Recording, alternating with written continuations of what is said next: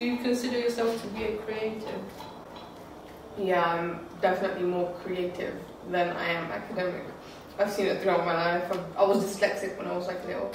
You said that you're more creative than academic. Mm. So, what was your inspiration to study photography, a creative subject, in an academic sense? It was kind of random. Like first, I did GCSE art, and like that that took up so much of my time. And I was like, if I was to do art in A levels, I would not like do good.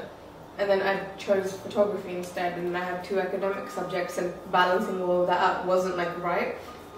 And I knew I didn't like the other two, and I knew I didn't want to do anything else. And if I wasn't doing photography, I wouldn't like I don't know what what else I'll be doing. Like I hate the sciences except biology, but I did really bad in that, so just leave that out.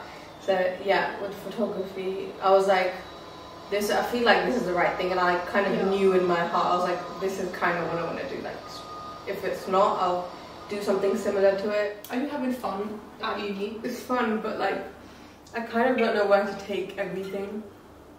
Like we learn the context stuff, and then we learn techniques or whatever. But I still don't know, like, don't have a direction in what I like should do, like, what kind of work I should be creating, and you know I mean. I kind of need more of a guidance.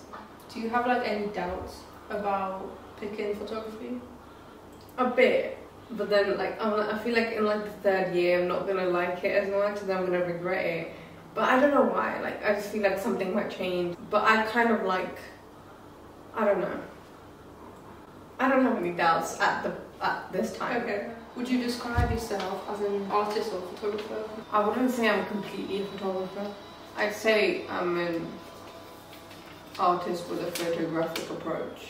What is your motivation? I think I get inspired by um, some of the professors as well. My motivation is to get to that standard, and it's the whole traveling kind of side as well. Yeah. But it's like knowing what you want is what's motivating me to carry on with photography right now.